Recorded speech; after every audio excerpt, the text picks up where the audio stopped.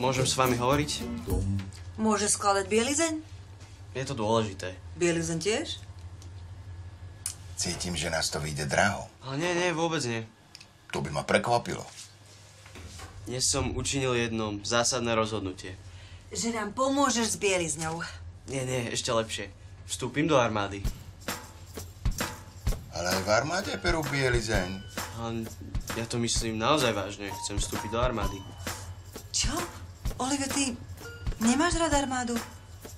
Nechceš armádu? Nie si stvorený na armádu? Armáda? To čo je za nápad? Vážne si myslíme, že by si mal zmeniť poradcu v oblasti voľby povolania. Ale ja to myslím vážne. Ale Olive, si sotva dokázal vstať do školy. A to si umával po obede. No veď presne to potrebujem. Zmysel pre presnosť a to mi armáda dá. Vieš si sám seba predstaviť ako vojaka? Vstávať ráno o 5, potom robiť milión klikov, e, nechať si nadávať za to, že si škaredo ustlal postel. Mami, ale ja nechcem byť vojak, na to mám príliš vysoký potenciál. Chcel by som byť skôr dôstojník alebo vyššia šarža. No a najlepšie na tom to, že mi armáda zaplatí školu. Bakalára, magistra, doktorát. A nebude vás to stať nič. Ale ty nemáš rád školu. No nemám ju rád, lebo nemám cieľ. A ten mi armáda dá. Aký? Že budeš riadiť tank? Nie, predstavoval som si skôr pilota stíhačky, ale ešte nie som úplne rozhodnutý. A vieš o tom, že piloti študujú matematiku?